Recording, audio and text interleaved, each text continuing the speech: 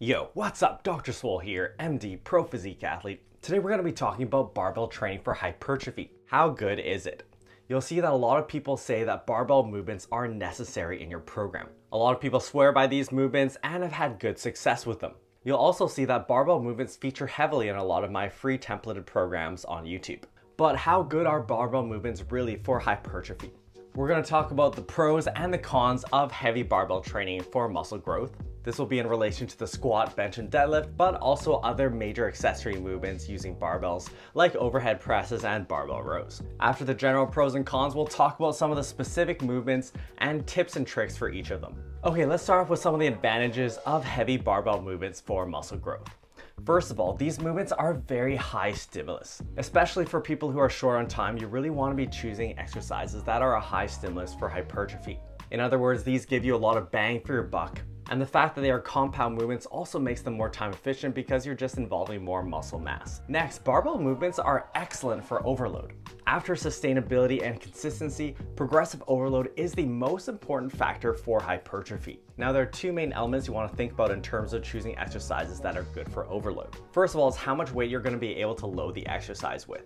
And you want to be able to add weight in a safe and consistent way. So for example, there are some machines you might be using where you would actually max out the cable stack at a certain point. The other component of overload though is how precisely you're actually able to add that weight. And calisthenics are a good example of how this can be an issue in terms of hypertrophy. If you wanted to build up a big chest just using push-ups and no weight added, you could initially increase your stimulus by just adding reps. But eventually even that would get too easy and you'd want to increase the resistance. You could try adding an incline to your push-ups, but eventually you'd have to make the jump to one-arm push-ups. And this is a very big jump to make. However, in a bench press, you can add weight in five pound increments or even less if you have microplates. This gives you a much more smooth rate of progress and allows you to capture those gains along the way. My recommendation for overload is that you aim for a rate of progress that is as fast as possible, but in a sustainable manner. That is, you wanna be able to keep progressing over months. If you try and progress too quickly, you will run into a stall and this will plateau your gains. The other thing about barbell movements is that you have minimal equipment required. This is especially nice for people who train at home, train in small gyms,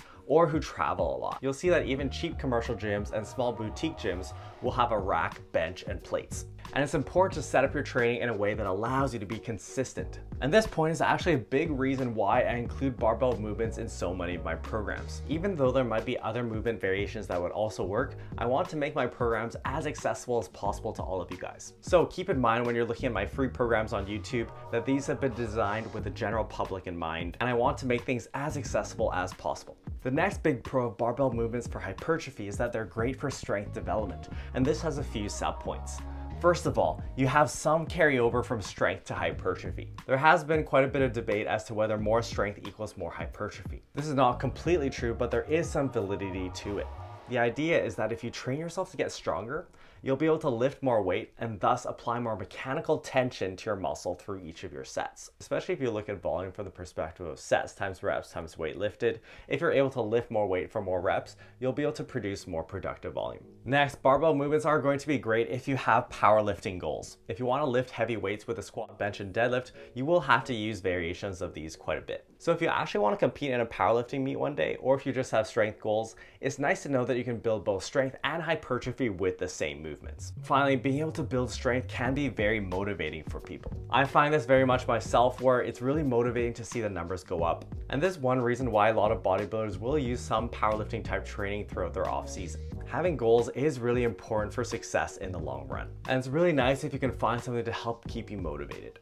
Now that we've talked about the advantages, let's talk about the disadvantages of barbell training for hypertrophy. First of all, a lot of people will end up getting married to the movement. And by that, I mean that they just use the same movement over and over again and never change things up. You'll see that people end up tying their egos to their squat, bench, and deadlift numbers. And a lot of people will feel that their barbell movements are necessary for muscle growth. There are some issues for this. First of all, from a hypertrophy standpoint, if you only use barbell movements, you are going to have a lack of variation in your programming. Barbell movements are great for producing a lot of stimulus, but as you'll see from some of the examples later, not all the movements will stimulate all of your muscle fibers. So if you want to have complete muscle development, you will want to include other exercises. Next, if you try and have squat, bench, and deadlift in your program year round for years on end, you are going to run into staleness. Now there is a psychological and physiological component to this. First of all, it can get boring having the same exercise in all the time, and switching things up can be refreshing and exciting. But part of producing a good stimulus for hypertrophy does involve some novelty. And I don't mean muscle confusion, so I do not recommend switching up your exercises every workout. But if barbell bench press has been your main chest movement for years on end, you might be better served by switching things over to say a dumbbell bench press, which would give your body a new stimulus and allow it to adapt to that. Typically, when we're talking about injuries with barbell movements, a lot of these happen due to bad technique. But even with good technique, if you're always using the exact same movement patterns, you do run the risk of chronic overuse injuries. Having good technique is really, really important. And if you're just starting out, it might be helpful to get someone to show you how to perform these movements properly. You really want to get your your technique down before going heavy. Next, at a high level, barbell movements become highly fatiguing. This is more of an issue for exercise that produce axial loading. That is, compressive forces on your spine produced by squats, deadlifts, and heavy barbell rows. But at a high level, when you're able to move a lot of weight on these movements, you will produce a disproportionate amount of fatigue. For example, if you're consistently squatting over 400 pounds, you are going to produce a lot of fatigue from those squats. And since your body has a finite amount of recovery resources, this will reduce the total amount of productive volume you're able to generate across your workout or across the week. If you're really fatigued from your heavy squatting, you might not be able to do as much leg press work or other exercises in general after that. So at a high level, you will see that fatigue does become an issue. And in my advanced programs, you'll see that I use less heavy barbell training. Finally, with barbell movements, you have constrained biomechanics. This means that these movements just might not fit very well for some people. So if you find that a certain exercise doesn't groove for you very well, first of all, check your technique, but after that, you'll find that some movements just aren't ideal for you and you'll have to try this out for yourself. Okay, now for the part you guys have been waiting for, we're gonna talk about some of the specific examples of barbell exercises, some of the specific pros and cons, and tips for hypertrophy. First of all, the squat. This is an amazing movement for the quads and for the glutes. In terms of stimulus, front squats are going to be more quad dominant, and then you've got high bar and low bar squats, which are going to be more hip dominant. In general, when looking at exercises, if you're able to move more weight with a variation, you're more likely to be generating more fatigue. So it follows that low bar squats are going to be your most fatiguing variation of squats, with front squats being less fatiguing. Now I'll note about squats that they're great quad builders, but they aren't the best exercise for your rectus femoris. Now in terms of a technique tip, I recommend that you try and go as low as possible when squatting for hypertrophy. Getting that full range of motion will produce a better stimulus, although I'd recommend you stop before the butt wink at the bottom. If you watch yourself from the side in a mirror or film yourself, you'll notice that if you squat all the way down as far as possible, you will start your lower back starting to round at the bottom. This may not be an issue if you're lifting light weights, but as things become very heavy, you do run the risk of injuries with this. Next, let's talk about the bench press. I think the bench press is an amazing exercise for the chest. It allows you to get a good stretch on the chest and really overload. Plus, the pecs tend to be relatively fast twitch, so they do well with heavy barbell training. Really aim to set up your bench well with your upper body, so engage your lats when you're pressing, and make sure you have a strong base of support, so have your feet firmly planted on the ground. None of that feet up benching stuff. If you want to train your core, just do dedicated core exercises.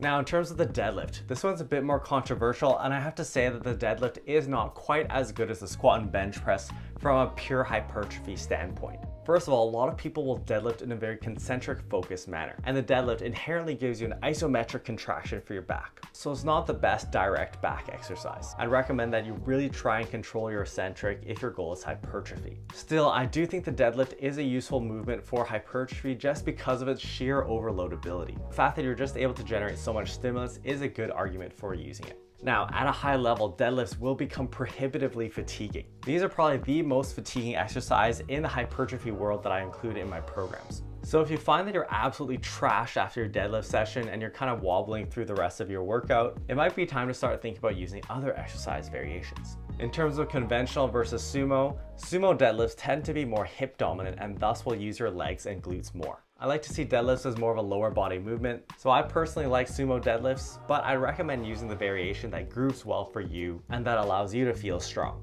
Okay, let's talk about some accessories now. So first of all, overhead press. You'll see people talk about this as one of the big main movements. People will actually debate as to whether overhead pressing is strictly necessary for muscle growth. And in a strict sense, it probably actually isn't really necessary for hypertrophy since you can build your pecs and anterior delts really well with horizontal pressing. But I do think overhead pressing is useful for compound training involving your anterior delts, triceps, and upper pecs. You'll see though that I only typically include overhead pressing once per week. Most people have overdeveloped anterior delts anyways, so I don't think you'd need very much extra pressing. Next, we have close grip bench press, and this is probably my favorite tricep movement. From a technique standpoint, I recommend really trying to keep your elbows tucked to really focus on your triceps, and for a grip standpoint, you really just need about shoulder width.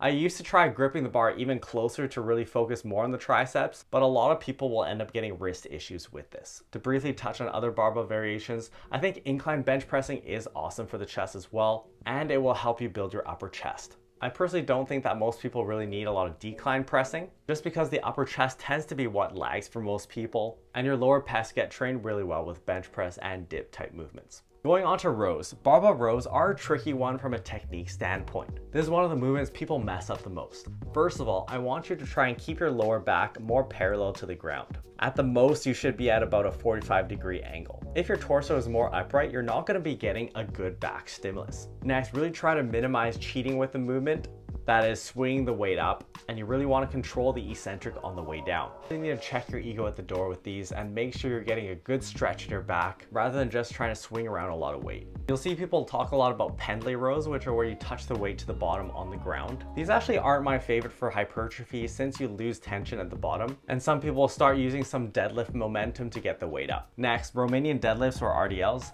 These are my favorite overall hamstring movement. They're great because you get a huge stretch in your hamstrings at the bottom. Make sure that you push your hips back as you're lowering the weight. You don't want your knees to bend too much because you want all the force to be going through your hamstrings and glutes. Now, the thing about RDLs is you don't have to go all the way down to the ground. As long as you lower the weight enough to feel a good stretch in your hamstrings, you're good. From a pure efficiency standpoint, RDLs are actually probably a better pick for hypertrophy than deadlifts themselves. So if you are an advanced athlete and you find that deadlifts from the ground are becoming prohibitively fatiguing, you could try making RDLs your main pulling movement. All right, a couple more here. Barbell hip thrusts are a glute dominant movement. I actually really like this as a hip hinge in general. Keep in mind here that a lot of people will cheat their range of motion by not truly locking out their hips at the top. So really try and lock out at the top and get a good range of motion to get a bit of a stretch at the bottom for a maximum stimulus. If glutes are main focus for you, then I do think you should always have some type of thrusting movement in your program.